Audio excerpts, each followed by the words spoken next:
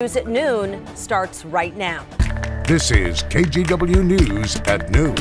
We're looking at a national emergency because we have a national emergency. Declaring an emergency on our border to build a wall is probably the worst public policy idea I've heard in about 10 years.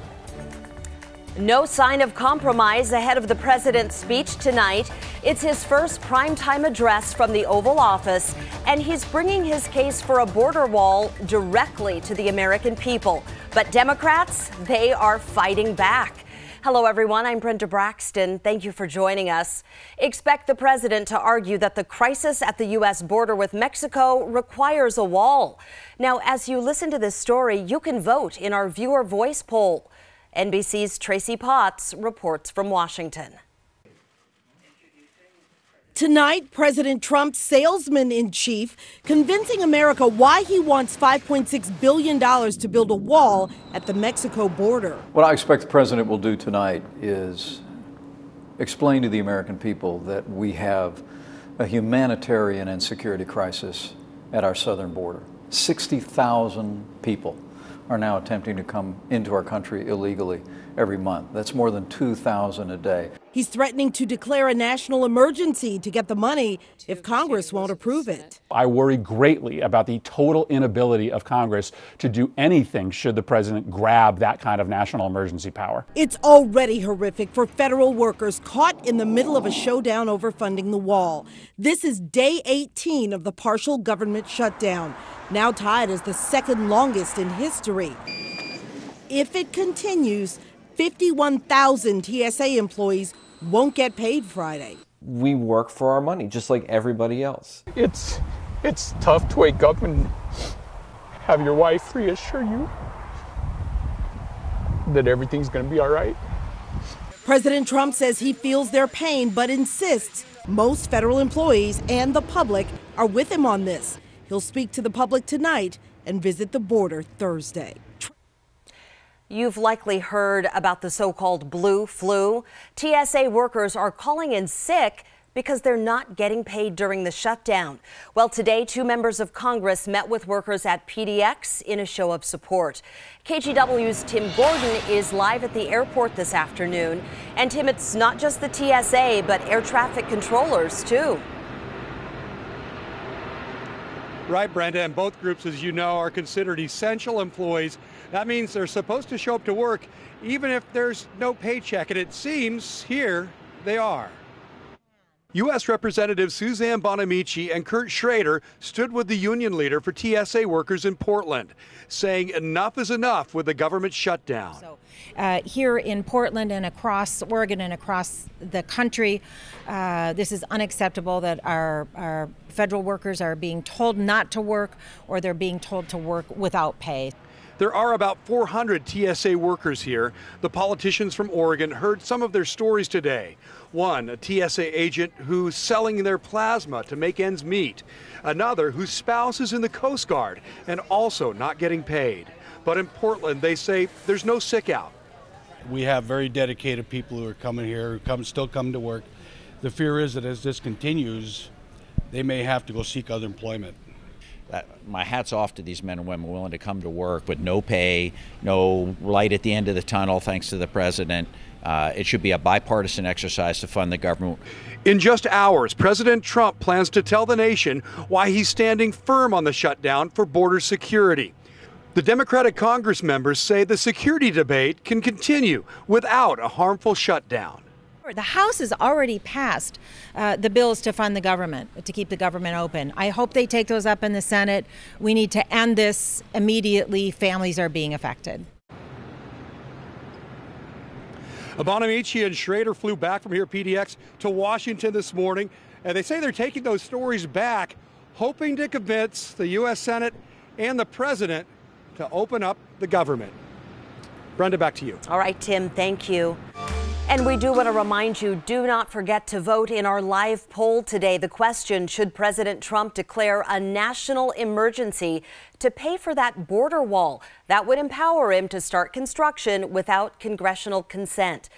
If you'd like to weigh in, press the vote tab on the KGW News app or go to kgw.com/vote.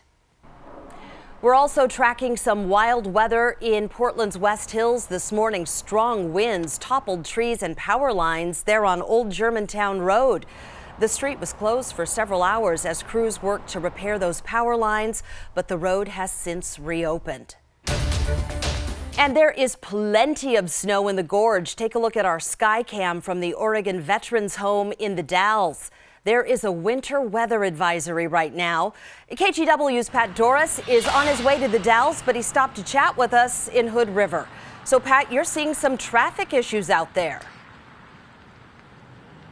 Right, Brenda. Well, I just heard from ODOT that there's a semi that is jackknifed. It's closed the westbound lanes about 10 miles east, so 10 miles this side of Cascade Locks. It's also closed one of the eastbound lanes going into the gorge. And the cleanup may not happen until uh, a couple of hours from now. It's an Albertsons truck. Unclear whether it's weather related, but it is certainly causing a backup that is going to stretch for miles. Here in Hood River, there's kind of a icy, rainy mix falling. I think my weather friends call that grapple. If you look across the Columbia, you can see snow on the rooftops over there. But uh, as far as downtown, really no problems. Out on Interstate 84 earlier today, the story was wind and rain. We came across a modular home headed east into the gorge.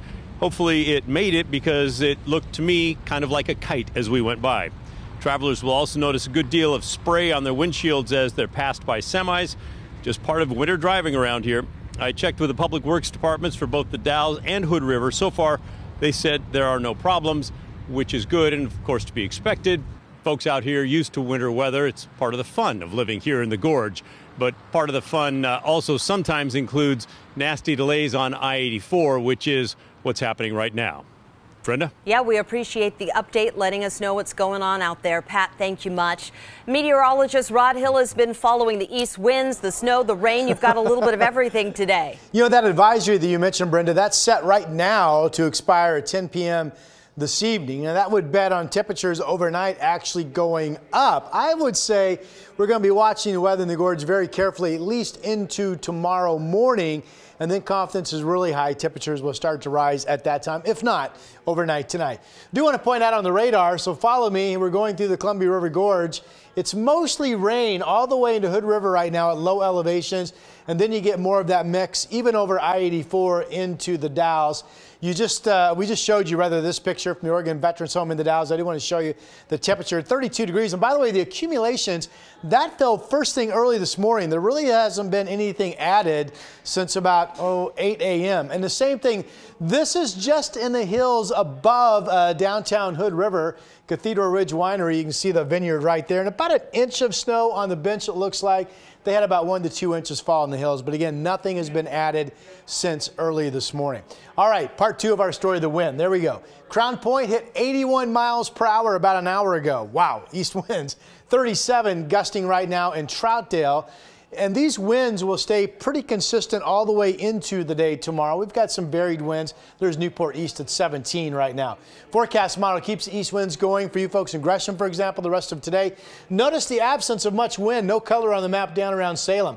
I play this into tomorrow. See how the colors fill in? Tomorrow morning, the wind direction picks up from the south. Everybody up and down the I-5 corridor tomorrow will see gusts of 30, maybe a 40 mile per hour wind. Pretty wet day tomorrow with rain picking back up as well. For the rest of today, 45 degrees right now. Pretty much a steady temperature throughout this afternoon. Showers, however, may actually start to become fewer in number, at least for today. Brenda? All right, thank you, Rod. And you can stay up to date on any weather or traffic alerts on KGW.com or our KGW News app. A funeral service was held this morning for Jasmine Barnes, the seven year old girl who died in a drive by shooting in Texas. Family and friends packed this church in Houston to pay their respects before attending a memorial service. Two suspects are in custody. Eric Black Jr., charged with capital murder, is being held without bail. Barnes's family attorney and NBC affiliate KPRC have both identified the shooter as Larry Woodruff. He has not been charged in the case. Investigators say Jasmine was not the intended target. So it's our understanding that this was a case of mistaken identity, um, that they fired in the vehicle believing that um, it was in retaliation for an altercation that had happened earlier in the night. Barnes's mother was also hit by gunfire, but she survived. She says her daughter was exuberant, loved to sing and dance, and dreamed of being a teacher. We now know the name of the man shot and killed by police in southeast Portland. On Sunday, officers say 36 year old Andre Gladen refused to leave an apartment near Market Street and 96th Avenue. According to detectives, an officer used his taser, but it apparently wasn't effective. Police haven't said exactly what happened, except that the officer fired his gun at Gladen and he later died at the hospital. Take a look at this damage. A tractor drove straight over this ATM in Hillsboro. This is the Wells Fargo branch on Northeast Cornell and Butler near Orenco Station. Police say there were two guys and they got away in a U-Haul, which was later found sitting in a parking lot about a mile and a half away. Police say they don't know how much money the pair got away with. An arrest after a manhunt in southeast Portland shut down part of a neighborhood for hours. Police say they found Andrew Hernandez in the basement of a home he broke into on Southeast Glenwood Street early this morning. They say Hernandez was armed and threatened to hurt officers, leading to a chase around 9:30 last night. The chase ended when Hernandez crashed into a car and then ran away. This noon, he's in jail charged with assault and